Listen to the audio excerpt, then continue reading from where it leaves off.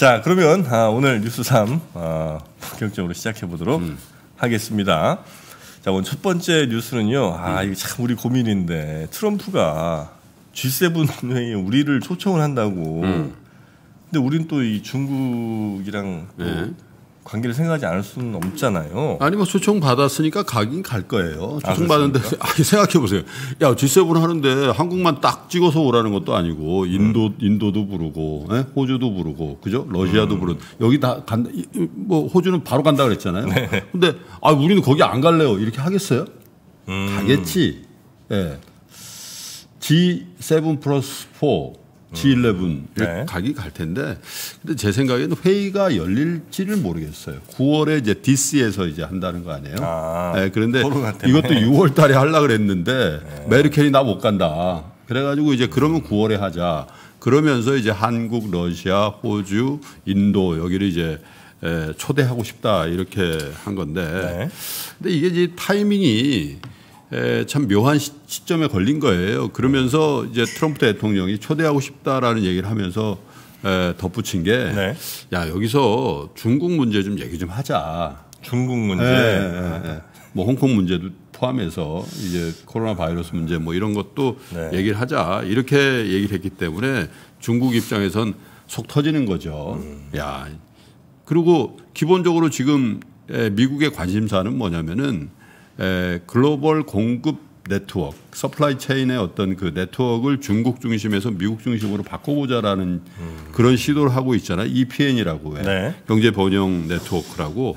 이제 그거에 이제 한국도 들어오라고 콕 찍어서 얘기를 하고 있는 상황에서 우리 정부가 좀 고민스러울 네네네. 네, 네. 거예요. 왜냐하면 이제 에, 경제적인 입장에서 중국을 전혀 어, 고려치 않는 어떤 정책 그걸 할 수도 없는 거고 음. 미국에서 어, 큰 의미에서 동맹인데 음. 예, 동맹인데 그 동맹들을 위주로 해서 에, global supply chain의 어떤 변화를 같이 좀 해보자라고 하는데 그걸 또 우리 싫다라고 얘기하는 것도 음. 에, 불편한 상황이 되는 거죠. 근데 이제 G7이라는 게 사실 의미가 있냐 이런 이제 얘기들 많이 해요. G7이 대체, 대체로 보면 이제 미국, 영국, 프랑스, 독일, 이탈리아, 캐나다, 일본 이렇게 되어 있는데 서방 야 이탈리아 여기 들어가야 되냐? 이탈리아 분도 죄송합니다. 근데 사실 그렇잖아요.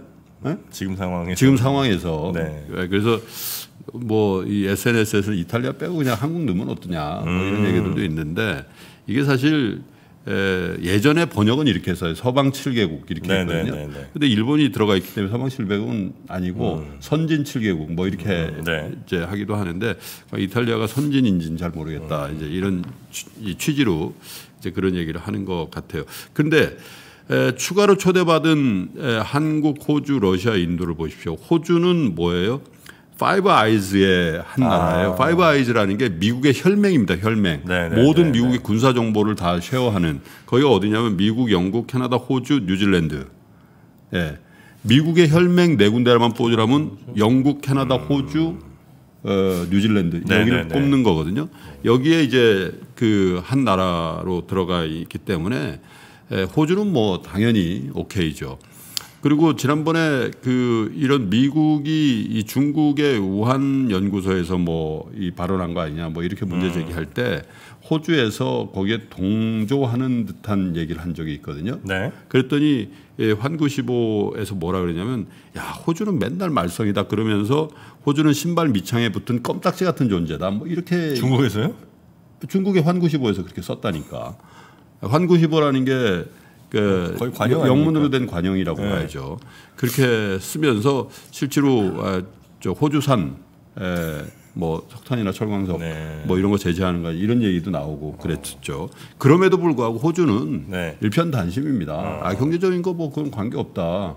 아 그런 어. 입장이에요. 네, 네. 굉장히 강력한 아, 미국의 서포터즈 역할을 하고 있는 상황이고 그 다음에 러시아하고 중국하고는 뭐 최근 들어서 시진핑과 푸틴이 좀 밀월 관계다 이런 얘기는 나옵니다만은 사실 전통적으로 보면 굉장히 갈등 관계가 축이 형성되어 있는 나라라고 봐야죠. 네. 물론 이제 푸틴 대통령이 내가 가마 이렇게 얘기할는지 모르겠습니다만은 어쨌든 그런 관계고 인도는 뭐 중국하고 그다지 편안한 관계가 그렇죠. 아니죠. 국경 네. 분쟁도 있고 네. 사실상 그리고 이제 전반적으로 보면 global supply chain이 중국에서 미국 중심으로 바뀌었을 때 중국을 대신할 음. 수 있는 아, 유력한 후보니까 후보군이 될 수도 있는 거니까 네. 아마 제가 볼 때는 모디 총리가 가지 않겠나 이런 생각이 음. 들고요. 그래서 이제 우리 정부의 고민이 더 커진다 이런 얘기가 되는 거죠. 네. 근데 이제 이 시점이 9월이라는 거예요. 음. 그럼 9월에 DC에서 백악관 중심으로 해서 회의를 한다. 11월 3일 날 선거입니다.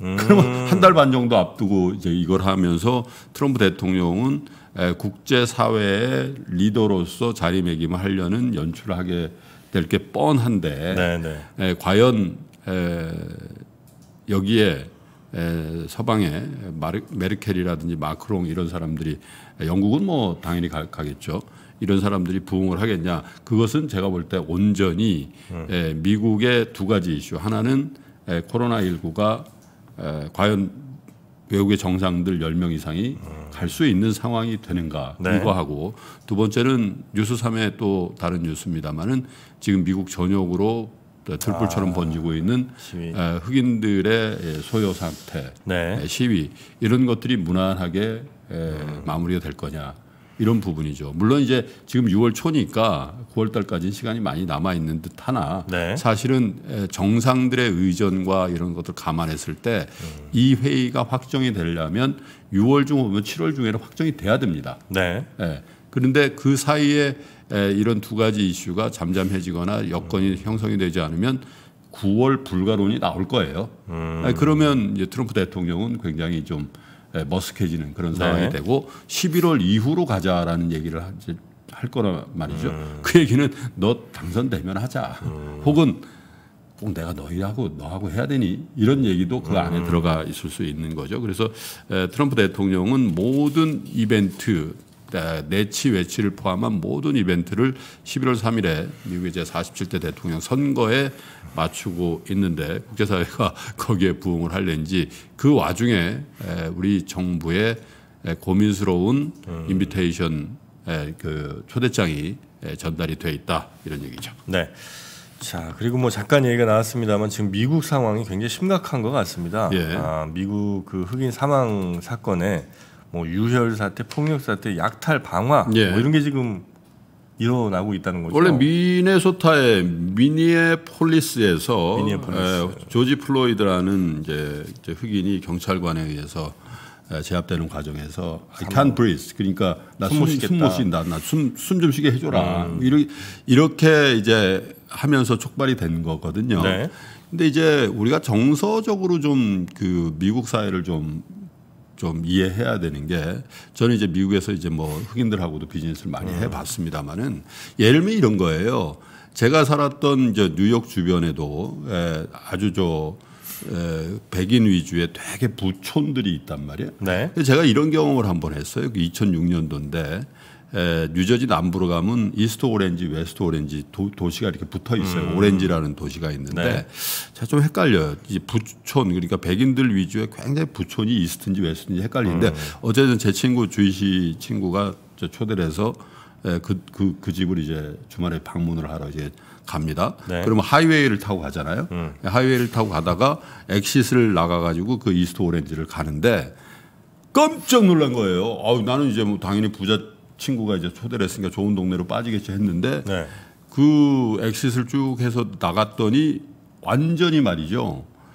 야 이게 21세기의 미국의 아. 뉴욕 주변의 도시가 맞는가 싶을 정도로 정말 쇠락하고 그리고 에, 길가에 이렇게 흑인들 흑인 이제 청년들이 에, 술병을 들고 있고 마약에 취해 아. 있는 그 모습에다가 집들은 뭐 거의 예? 무너져가고 우리 7, 80년대에 외곽에 있는 그런 허름한 어... 아니, 그런 도시 예, 그런 도시를 이렇게 지나가게 되는 거예요. 네.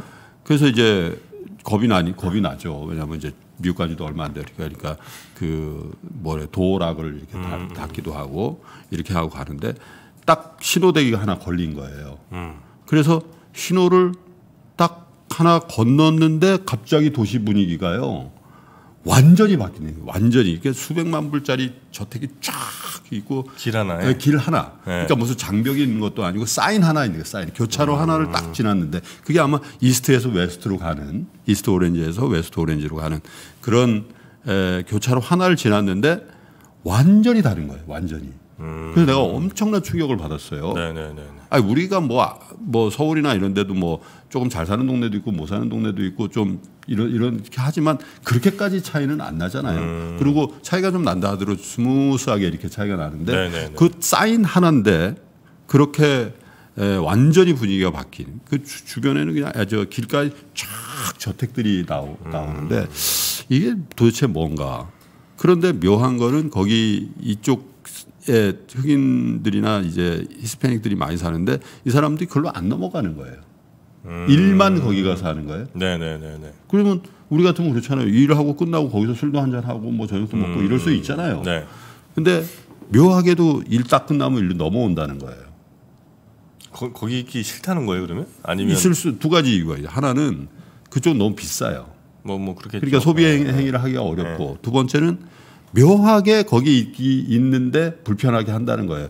그냥 전, 저녁 때 좀 밤이 지났는데 막 이렇게 지나다니면 뒤에 원 페트롤카가 따라온다. 아~ 이렇게 묘하게. 아~ 그게 이제 흑인들이 미국의 이 저소득층 흑인들이 음. 갖고 있는 정서라는 거예요. 음. 네.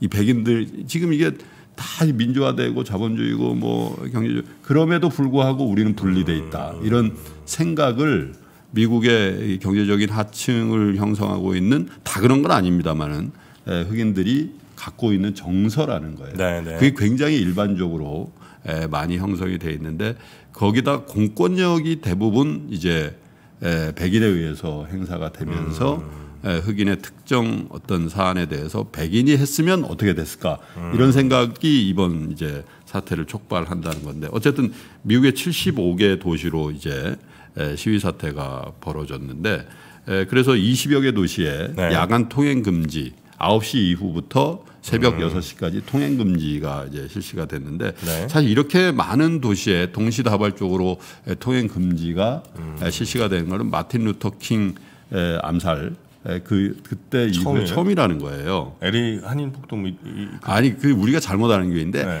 LA 한인 폭동 LA LA에서 일어난 국지적이었군요. 네. 그리고 아. 우리 한인들이 피해가 많이 받기 때문에 우리는 굉장히 큰 사건으로 생각하는데. 아 미국에서는 네. 아 전국적인 아니, 것도 아니고 이거는 좀 양상이 다른 거죠. 음. 그래서 에, 기본적으로 에, 이제 그 트럼프 대통령 이 반응이 야 그러면 이렇게 좀 가라앉히는 노력을 해야 되는데 이게 보니까 좌익이다 뭐 이런 쪽으로 또 어, 좌익이란 무슨 말이죠? 좌익 좌익.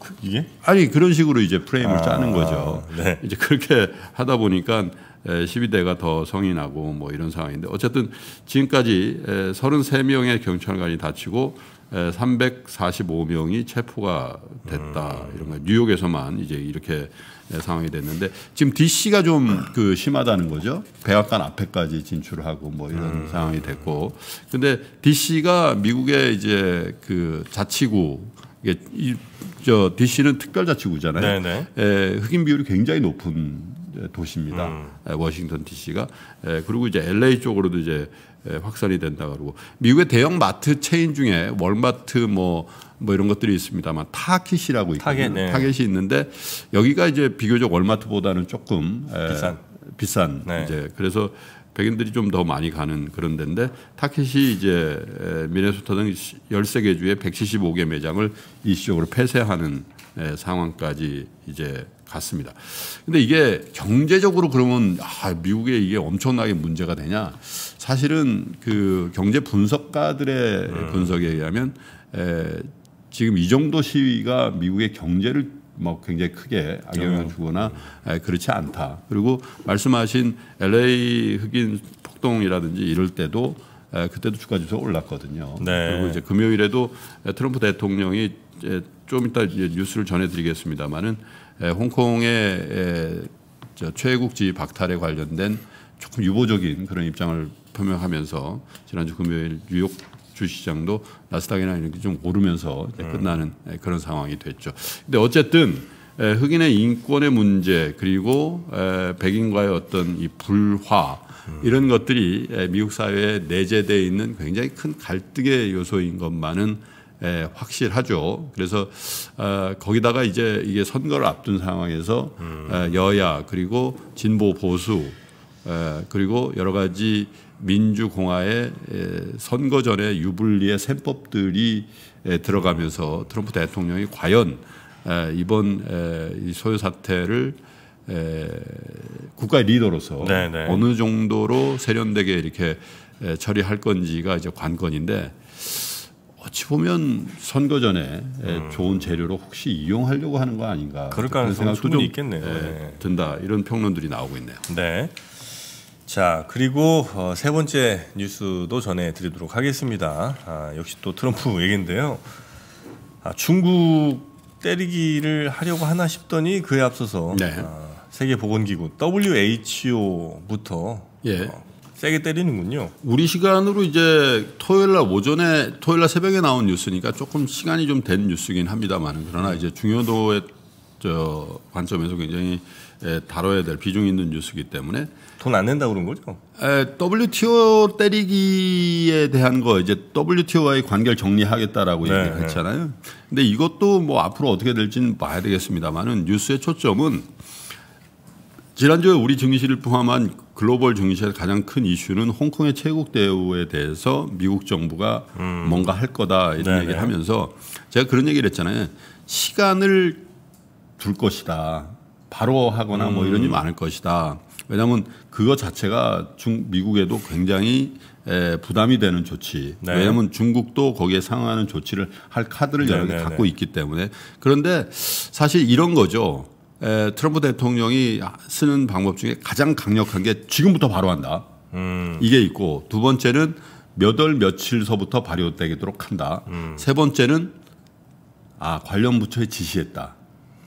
이렇게 이제 세 가지로 아. 나누어 볼 수 있는데 네. 세가 세 번째 카드가 나온 거예요. 아. 네, 홍콩의 에, 특별 대우를 에, 없애도록 에, 절차를 시작하도록 아. 네, 관련 이제 부서에? 내각의 음. 부처에 음. 지시를 했다. 그럼 이제 뭐예요 그건 내가 지시했으니까 예를 들면 국무부라든지 음. 뭐 예를 들면 에? 에, 뭐 무역위원회라든지 이런 데서 하는 거죠. 음. 그거는 이제 대통령의 의중에 따라서 충분히 시간을 뭐 다 됐니? 아, 직안 됐어요. 그러면 어, 더 해봐. 음. 이렇게 할 수 있는 거니까 네. 사실 이게 헛방이다. 음. 이렇게 이제 월스트리트에서 본 거죠. 아, 못하네. 야, 씨, 이빨 빠졌네, 이거. 음. 어, 할 수가 없네. 그리고 대선 전에 이렇게 했을 때 중국하고 막, 막, 가, 막 붙었을 때 주가 빠지, 이거 원치 않네. 그래서 음. 주가가 반등한 거거든요. 네. 유럽은 아유 그럴 수 있다 해가지고 유럽은 빠지고 빠지고 끝나버렸어요. 네. 근데 장 시작하고 오후 3시쯤 이걸 발표를 하다 보니까 음. 기본적으로 아 그때 이제 막판에 아 그러네 없네 이렇게 이제 장에서 해석을 했는데 말씀하신 것 말씀드린 것처럼 음. 뭐 헛방만 날리려니까 좀 그러니까 WHO 여기가 이제 타켓이 돼가지고 네. 돈도 안줄 분들은 나 우리 관계 정리한다 뭐 이렇게 음. 얘기가 된 거죠 중국 위주로 너네 하는 것 같다 이렇게 된 건데 사실 이것도 뭐 큰 의미는 없지요 그래서